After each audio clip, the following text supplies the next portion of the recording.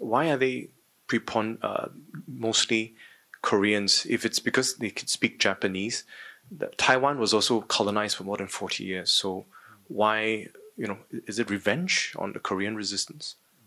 Obviously, Korea was a place where they'd colonized it for you know a very long time. Okay, they did use local women, Chinese women a lot actually, but Koreans they they they, they used them extensively. Uh, why Korean women? Um, it could well be that uh, yeah, because they'd colonized Korea for such a long time and they had all these kind of networks to basically you know get Korean women. Um, into you know basically the military, uh, they would coerce them, they'd trick them.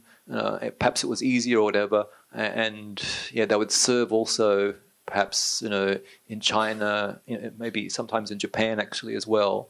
Um, I think it's because of the colonial relationship between the two, and perhaps you know, you might, as you say, it might be that they could speak Japanese easier, but the nature of the work didn't require language, you know, as a major as a major, you know, kind of category.